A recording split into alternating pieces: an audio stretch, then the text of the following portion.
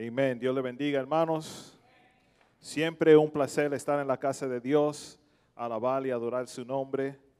Y siempre es un placer poder presentar a un niño al Señor. Es un trabajo difícil levantar a un niño hoy día, 2018, con tantas cosas que están sucediendo. Pero como dijo mi esposa, con el poder de Dios y el cuidado del Señor, sí se puede. Amén. Amén. Bueno,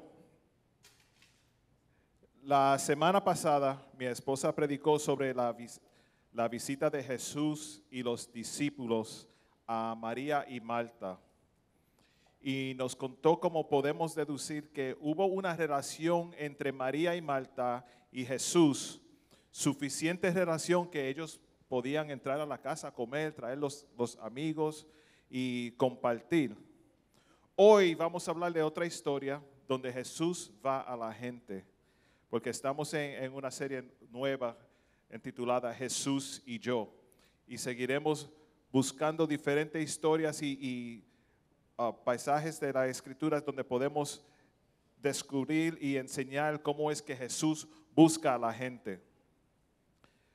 Piensen por un momento en una persona que quizás conoces, pero realmente no la respeta. No diga el nombre duro si acaso está aquí.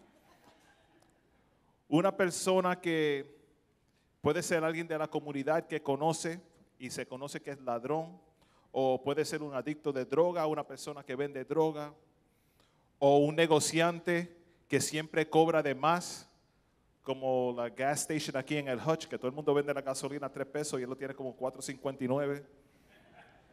Se aprovechan, ¿verdad? Toman ventaja. Pero piensa en esa persona por, un momento. Y esta pregunta es la que le quiero dejar. ¿Los invitarás a tu hogar a comer a esa persona? ¿O irías tú al, hogar de esa persona? O es más, ¿iría a la casa de esa persona y decir, me voy a quedar aquí una noche? Yo sé, cuando nosotros estábamos en Puerto Rico, lo primero que hicimos antes de salir de aquí era conseguir hotel, donde quedarnos, un sitio cómodo. Y todo el mundo, los amigos y la familia que apreciamos y muchas gracias si están velando, gozamos, thank you very much. Uh, pero siempre, quédense conmigo, quédense aquí. Y uno se pone a pensar, oh, ¿y si no me gusta? ¿Cómo, ¿cómo salgo de ahí? You know, ah, y si la cama no es cómoda, y si no me gusta la comida que cocinan, y si hace mucho ruido, y esto que lo otro. Pero imagínate tú yendo a la casa de alguien que ya tú sabes que no te va a gustar. Es difícil. Pero hoy vamos a ver una historia donde Jesús encuentra a una persona que fue odiado por todo el mundo, no fue respetado, fue menospreciado por la comunidad y la gente más o menos no lo pasaba. Y en esta historia ah, cuando nos ponemos a leerla, que pronto la vamos a leer, los que están en el, Evangelio por largo rato pueden quizás acordarse de una canción que cantaban los niños en la escuela dominical. Y yo sabía que había una canción de, este, este, tema que vamos a hablar hoy, pero no me acordaba la letra. Y yo llamé a Alice y, Alice, ¿tú te acuerdas de una canción que cantábamos? Y le, le pregunté y ella va y me dice, no me acuerdo bien uh, cómo se llama, pero sé la letra y empezó a cantarla y yo, ok, esa es. Y no la voy a cantar, pero le voy a decir la letra. Saqueo era un chaparito así que vivía en Jericó. Y cuando Jesús pasó por allí, a un sicómoro subió. El Salvador le vio allí y le habló así, Saqueo, bájate de allí, porque a tu casa voy a ir. A tu casa voy a ir. Un cántico lindo para los niños. No me acuerdo, cada vez que lo cantaba, Alex me decía, así no es que va. Saqueo era un chaparito así. Y sí, I don't, know. Pero hay una enseñanza más profunda en eso que, que solamente ser una canción para los niños. Y le voy a pedir a todos que se pongan de pies. Vamos a estar leyendo en el libro de Lucas, capítulo 19, del 1 al 10. El libro de Lucas capítulo 19 del 1 al 10.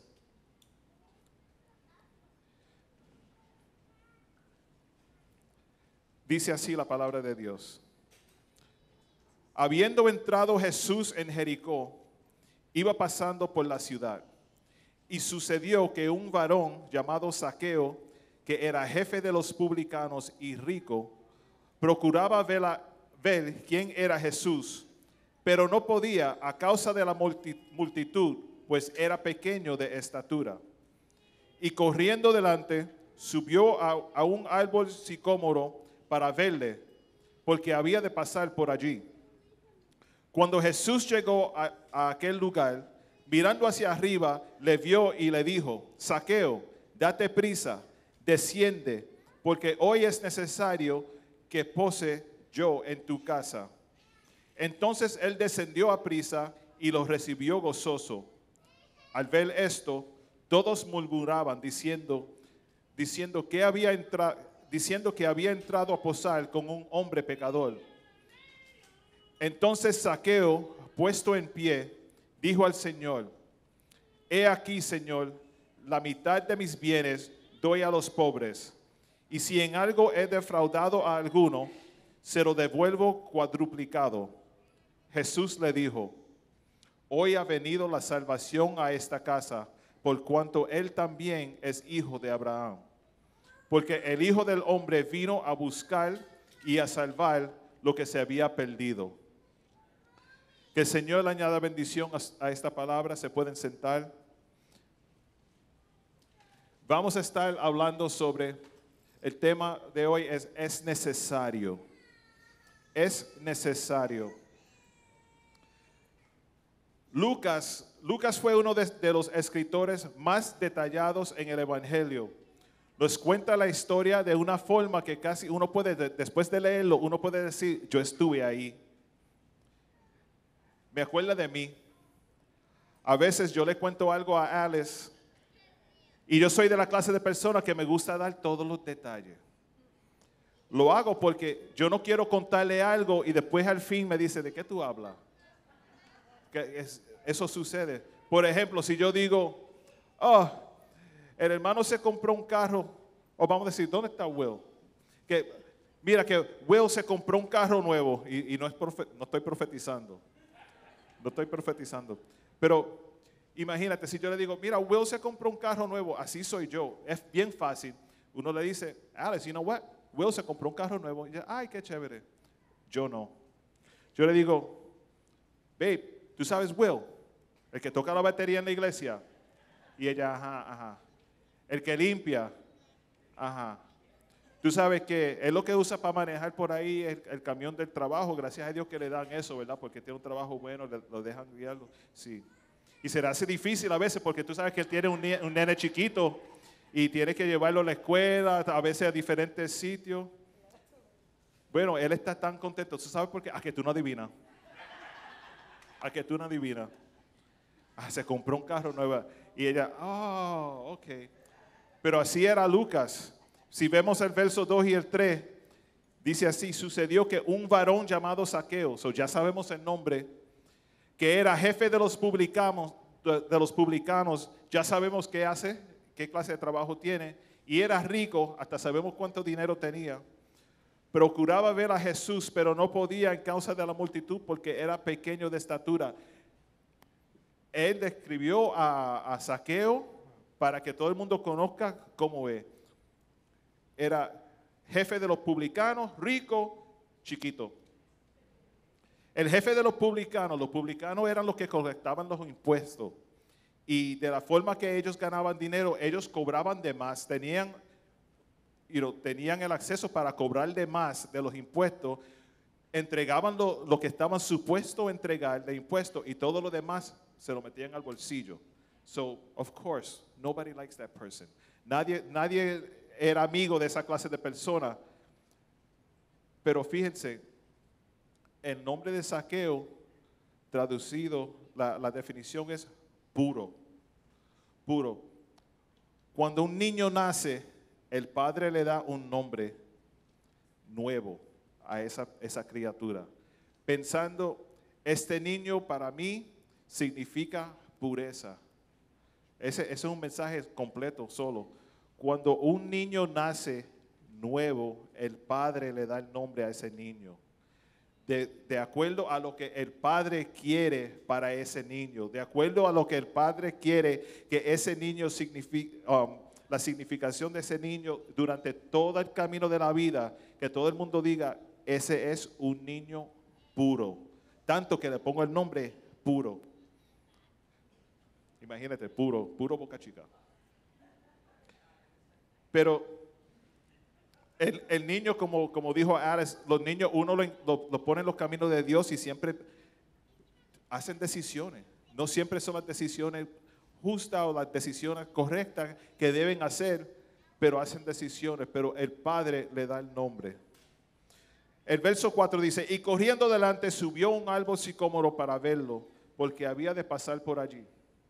No sabemos por qué era que ah, Saqueo tenía tanta urgencia para ver a Jesús. Puede ser que ya él sabía que él iba a pasar por ahí era el hijo de David y todos lo querían ver. Pero para ponerlo en contexto, Jesús pasaba por Jericó, donde estaba Saqueo, después de haberle dado vista a un ciego en Lucas capítulo 18, del 35 al 43. Había un ciego y Jesús le dio vista a ese ciego. Al fin de eso termina diciendo que todo el pueblo alabó a Dios cuando vieron ese milagro.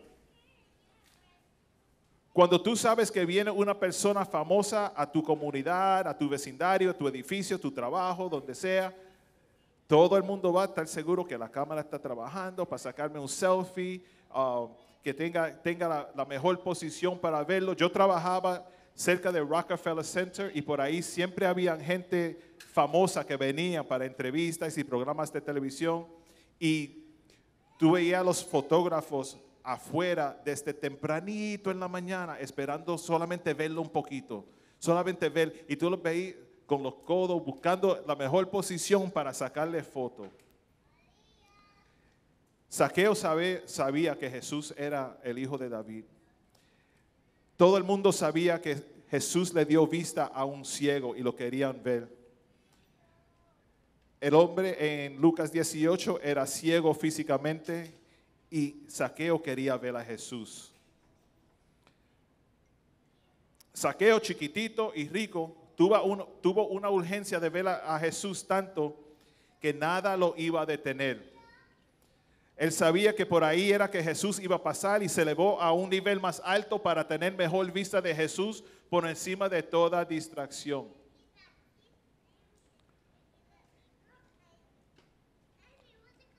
I'm going say that again. Saqueo, chiquito y rico, tuvo una urgencia de ver a Jesús, tanto que nada lo iba a detener. Saqueo sabía que por ahí era que Jesús iba a pasar y se elevó a un nivel más alto para ver a Jesús sin distracción. A veces tenemos que cambiar nuestra posición para ver a Jesús.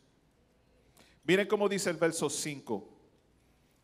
Cuando Jesús llegó a aquel lugar, el lugar donde estaba el, árbol donde se trepó Saqueo, mirando hacia arriba, le vio y le dijo, Saqueo, date prisa, desciende, porque hoy es necesario que pose yo en tu casa.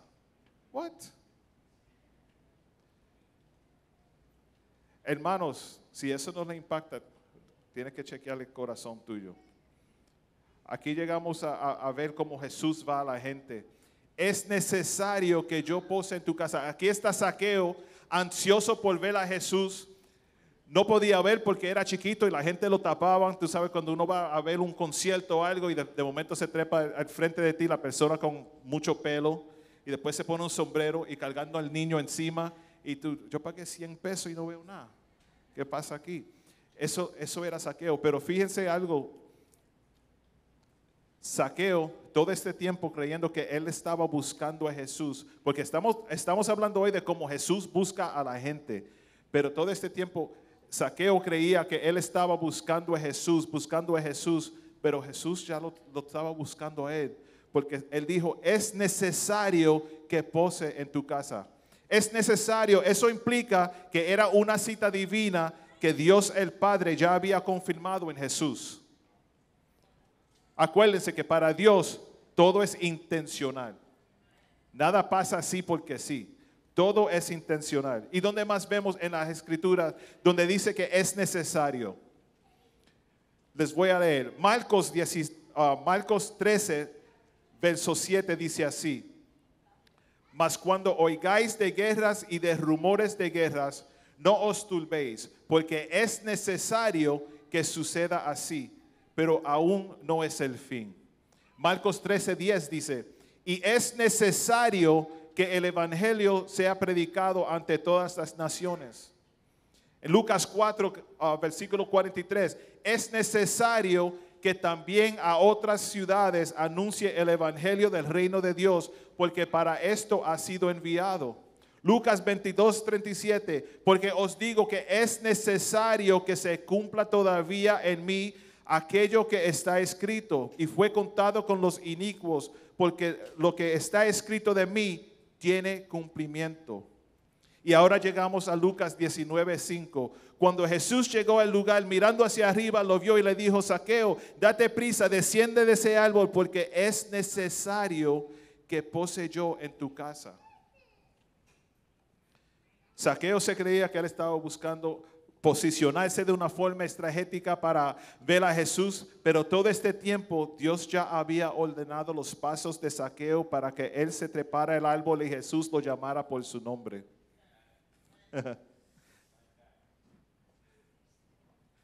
Hermanos, tenemos que posicionarnos diferentemente para ver a Jesús.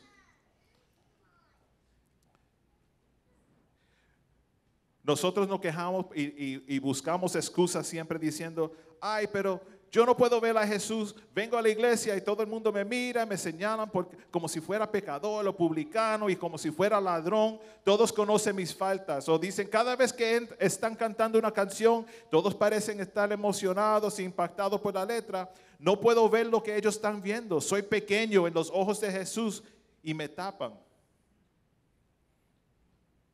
¿Verdad? Siempre tenemos excusas. Ay, que yo no puedo, yo, yo no puedo, y, más, chiquito, ay, que yo no puedo, y yo no puedo. ¿Sabes que Dios se está moviendo aquí? Si ves que Dios está haciendo algo y tú quieres ser parte de eso, pero te sientes lejos de Jesús, como que le tienes miedo a Jesús, vas, vas a tener que ir y treparte a un árbol escondido. Porque uno sabe, ay, yo, no soy digno de estar cerca de Jesús, pero trépate a un árbol para ver por encima de toda distracción, para ver por encima de toda distracción. Van a haber cosas en, en, el medio, pero tú tienes que elevarte. Fíjense, nosotros como humanos, si todo el mundo está en el medio mío, yo voy a decir, you know what, get out my way, yo. I'm gonna go, muévete para allá, salte para allá, vete para allá. Pero Saqueo dijo, no, ni lo voy a molestar. Yo voy a hacer lo que tengo que hacer por mí. Si ustedes se quieren perder, quieren estar al frente y ver todo, fine. Yo voy a buscar manera de posicionarme de una forma que vea a Jesús.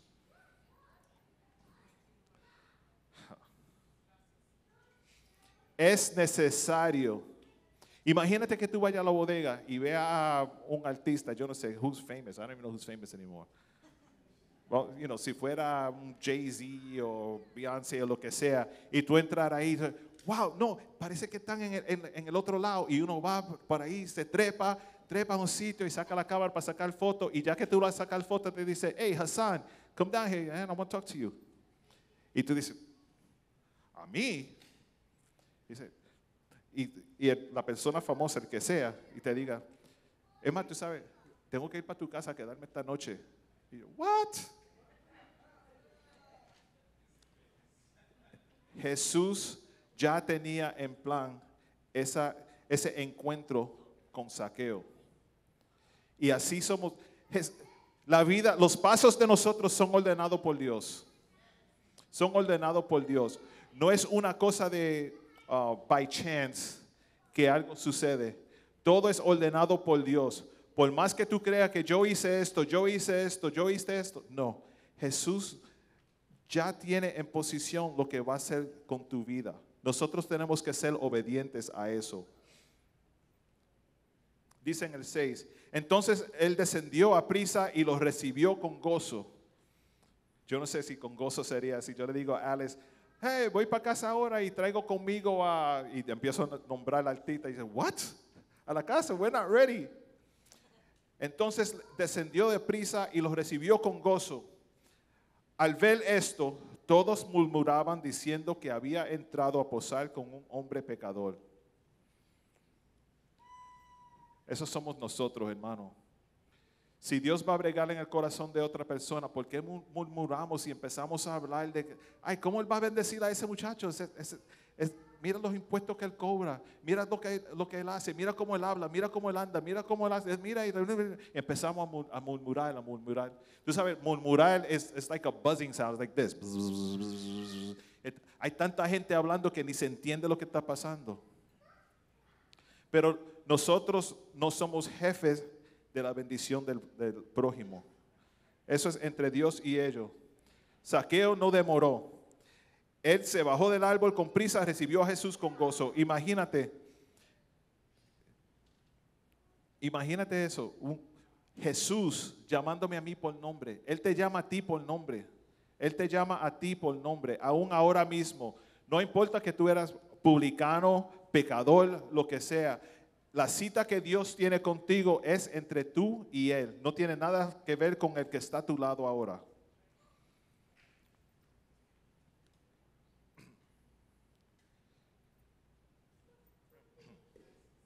Conociendo el amor de Dios, tenemos que conocer las características de Jesús para recibir sus palabras en contexto.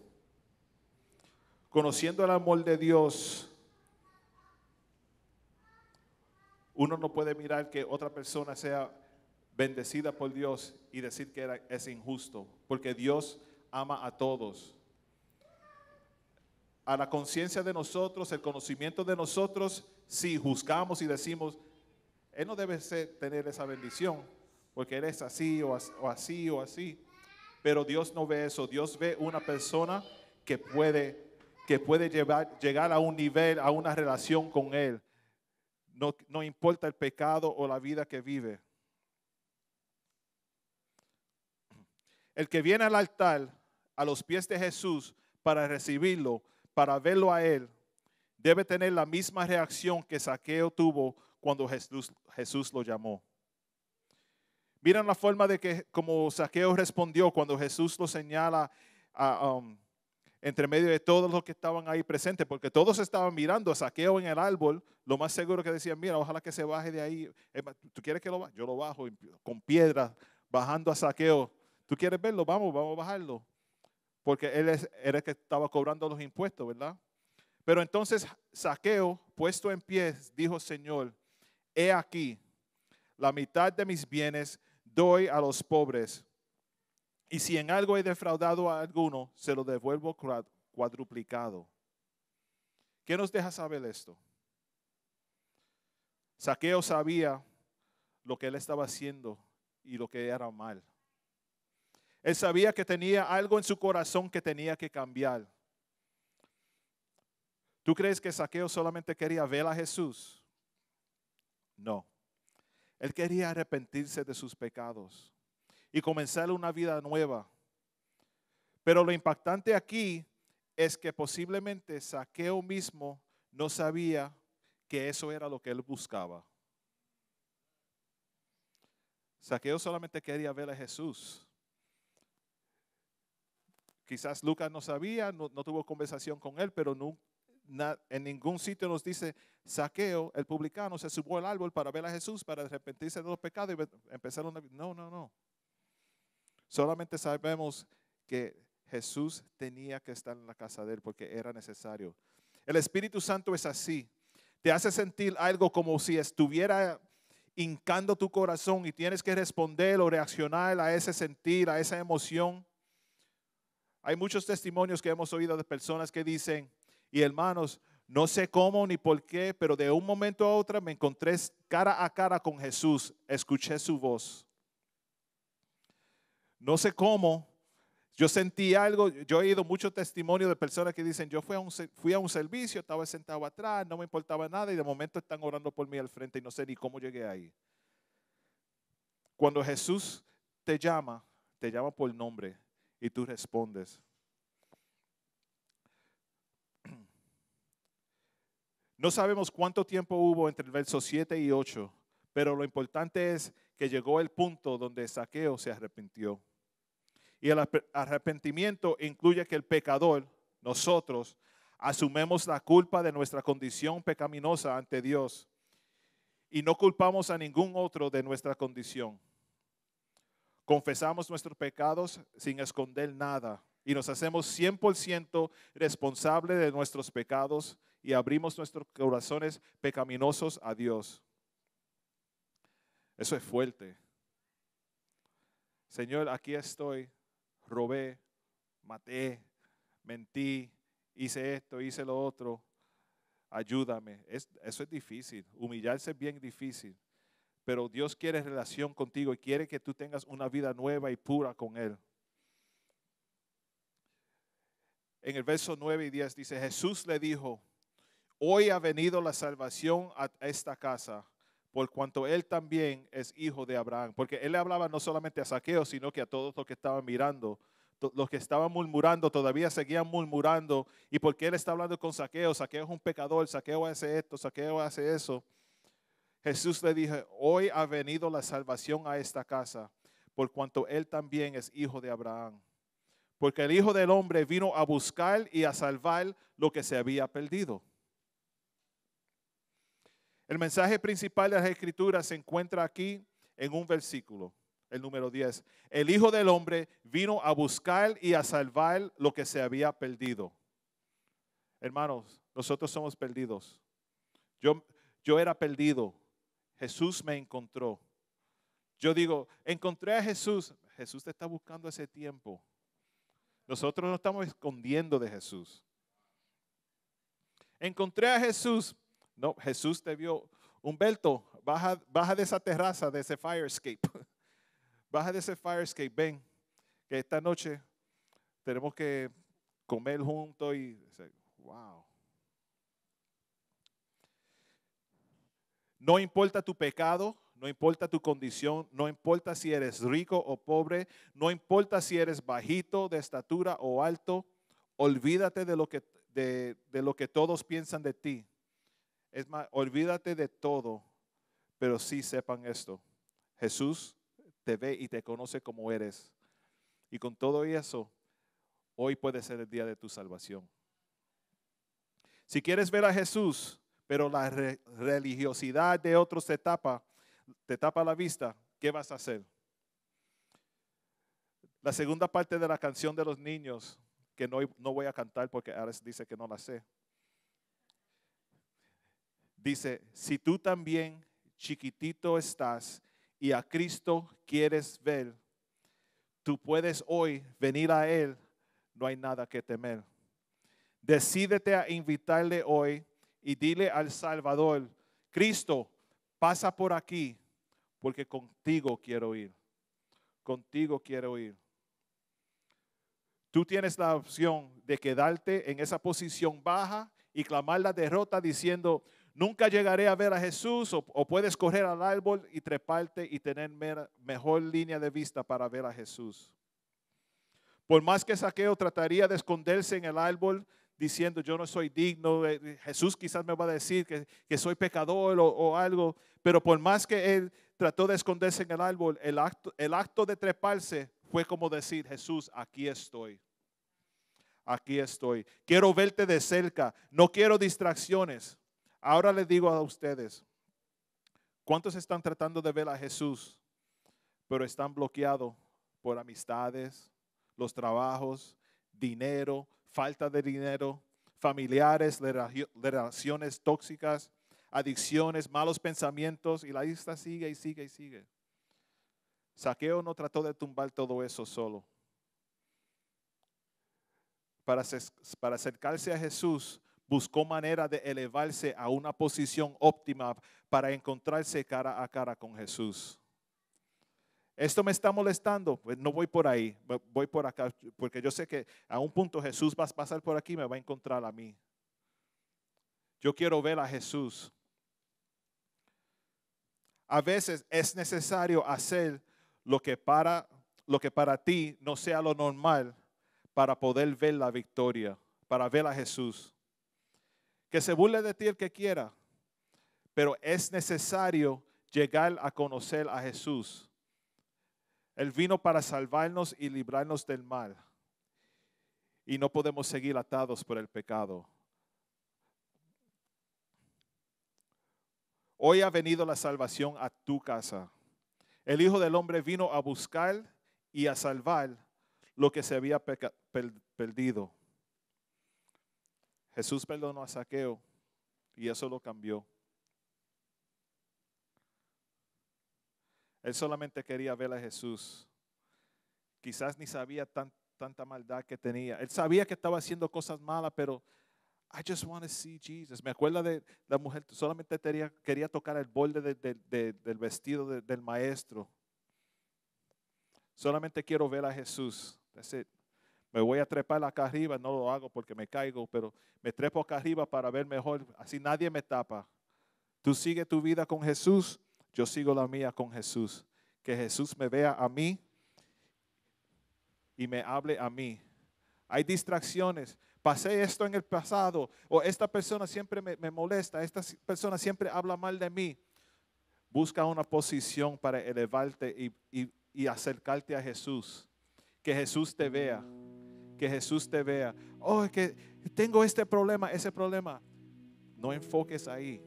Busca otra, otra, otra dirección. Quizás tiene que buscar otro, otro lugar para, para acercarte a Jesús. No podemos dejar que las distracciones nos dejen um, lejos de Jesús. Jesús perdonó a Saqueo y él cambió. Un hombre una multitud, un árbol, un encuentro, una cena, un arrepentimiento, una salvación. Y aquí tenemos diferentes partes. Tenemos a Jesús, el que puede salvar y va a salvar. Tenemos a Saqueo, el que buscaba a Jesús. Y tenemos el arrepentimiento y la salvación de Saqueo y su casa, porque dice, hoy tu casa um, será salva. Pero tú sabes que hay otra parte ahí que yo veo que nosotros podemos ser esa parte. El árbol.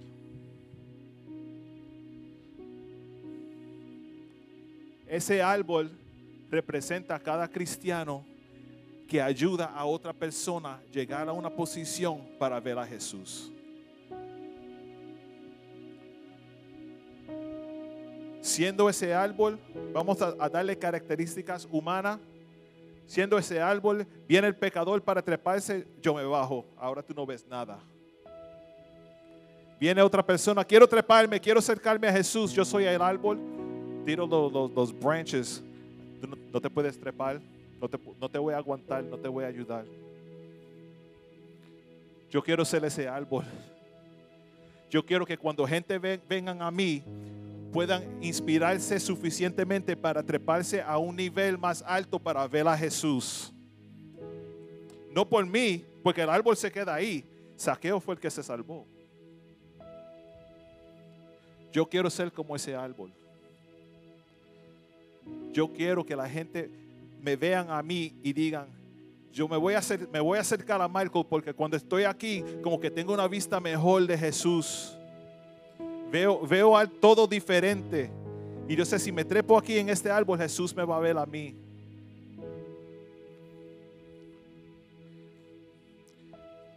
Hermanos, hoy les digo, ¿eres saqueo? ¿Has estado buscando a Jesús, pero hay distracciones, como dije, trabajo, relaciones, ah, dinero, falta de dinero, la renta, el, el vecino. Tienes tantas distracciones, pero yo quiero ir a la iglesia, pero no puedo por esto, por eso. Olvídate. Trépate el árbol. Trépate el árbol. Mira por encima de todos los problemas. You know, sometimes you just gotta forget about everything. Cuando en Puerto Rico nos trepamos en la montaña y en la casa del suegro, mirando de- de- del balcony, uno se olvida de todo. Estamos arriba, arriba, vi- ve- veíamos todo, todo, todo. No distraction. Una vista clara. De Isabela se veía todo Puerto Rico, todo, todo, todo. Pero tuvimos que treparnos a ese nivel. Si no llegamos a eso, si no buscamos dónde ir, no vamos a ver. Es cierto, Jesús te ve ahí sentado. Jesús te ve, au- aunque esté detrás de todas esas distracciones, Jesús te ve a ti.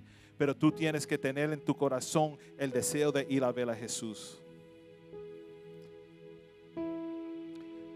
Hermano, vamos a estar de pies. Y les voy a pedir en esta tarde que sea sincero. Quizás tú viniste diciendo, ay, sí, quiero soportar que la familia va a presentar al bebé. Pero tú no sabías que Jesús te iba a estar llamando por nombre esta tarde. El bebé es el árbol hoy. Ustedes llegaron por el árbol, ahora están trepados a un nivel que puedan ver a Jesús. Olvídense de las distracciones. Olvídense del pasado, re- religiosidades, ah, falsas doctrinas, lo que sea. Puedes empezar de nuevo. Saqueo se arrepintió y eso es lo que, lo que quiero terminar. Porque a veces decimos, ¿cuántos quieren oración? Y pasan adelante, oramos y se van y nadie sabe nada más de esa persona. Y no hay cambio. Yo creo que la, la historia de Saqueo, y, me corrigen si estoy mal, es una de las únicas historias que vemos la conversión de la persona, el arrepentimiento y lo que hizo el arrepentimiento. Porque él dijo, le voy a pagar para atrás todo lo que he robado. Le voy a cuadriplicar, cuadruplicar lo que, lo que he robado a gente. Los demás tienen vista, el ciego va y se va y uno no oye de esa persona más. Coge levanta tu manto, anda y se va y uno no sabe de esa persona más. El aceptar a Jesús es la segunda parte. La primera parte es trepar, treparte al árbol. Eso es como decir, levanto la mano, decir, Jesús, aquí estoy, me trepé en el árbol porque te quiero ver. Y Jesús está pasando por aquí y te ve y te llama por nombre. Te llama por nombre y dice, ven, es necesario. Era necesario que tú, que tú estuvieras aquí esta tarde. Y es necesario que yo pose en tu hogar esta, esta vez, en este hogar, el corazón. Si estás aquí y, y quieres que oremos por ti, le voy a pedir que solamente levanten la mano. Nosotros vamos a orar porque queremos que Jesús tenga relación contigo. Tenemos que coger la bandera blanca, no para decir eh, me rindo, no quiero, no quiero más, sino te rindes a Él, que Él esté a cargo de todo, que Él cuide sobre ese niño, pero que cuide sobre los padres también, los adultos, porque sin eso el niño no va a saber. Puede ser saqueo, o puede ser los demás que tapaban a saqueo, murmuraban diciendo, ah, Jesús te llama hoy por nombre. Y vamos a orar.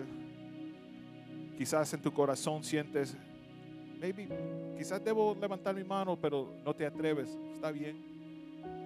Jesús te sigue llamando por nombre. A un tiempo u otro vas a tener que responder.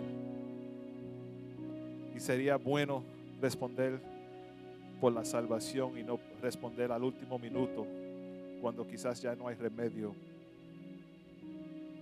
Jesús está aquí. Este es el árbol. Nos trepamos juntos, un árbol grandísimo. Nos trepamos juntos para ver a Jesús. ¿Cuántos lo quieren ver? Amén.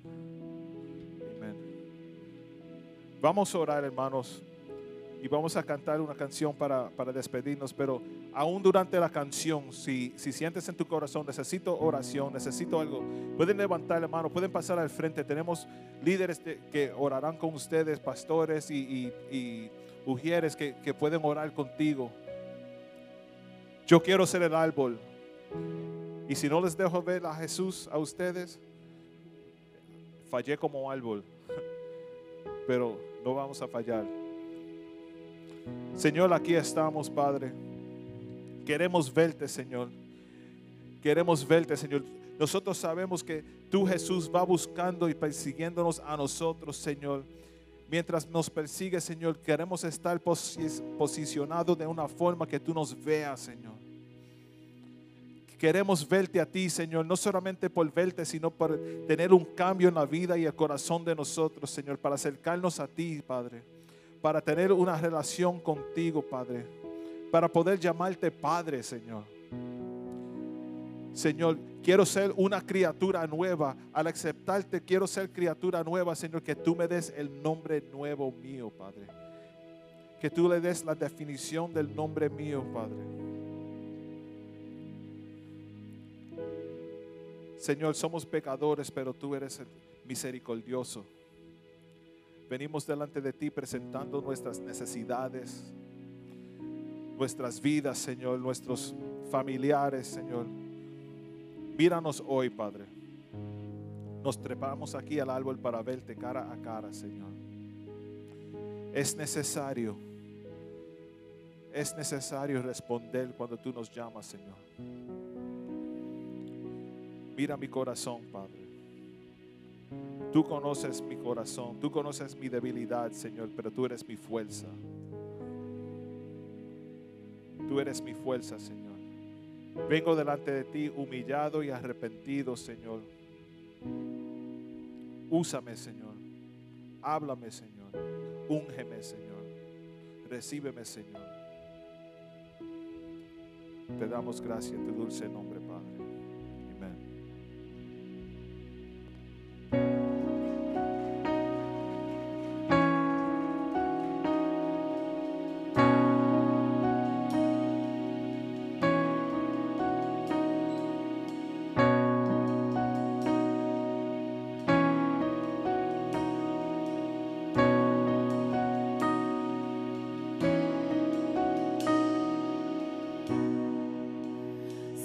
abatido y dolido estás y cansado del peso cargar, Cristo nos llama.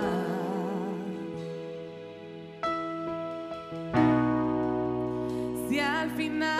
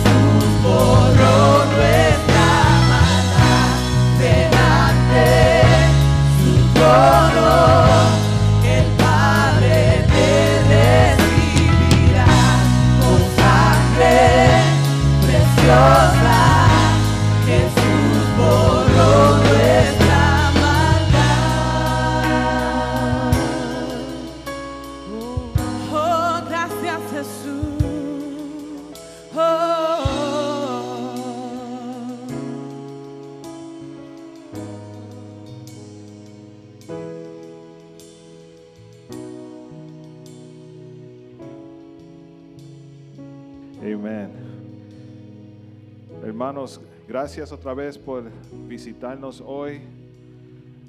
Si no tienen iglesia donde ir, nos pueden visitar los domingos aquí siempre a las 2 de la tarde. No se olviden, el miércoles hay culto de oración en español y inglés. El próximo miércoles tenemos estudio bíblico. Si quieren más información, síganse conectados con nosotros. En esta tarde, al terminar el servicio, vamos a estar ah, ah, compartiendo en la parte de atrás. Hay una comida aquí celebrando la presentación del bebé y todos están invitados. Right? I hope you have a lot of food. They look, they look hungry. They look hungry. Ah, pero por favor no se vayan, quédense con nosotros, aunque sean cinco o seis minutos para conocer dos o tres de los hermanos que están aquí. Aunque no quieran comer, por lo menos pueden pasar, saludar y salir, está bien. Pero siempre para nosotros, como decimos, somos familia, queremos compartir juntos. Amén. Dios le bendiga, nos vemos el próximo domingo.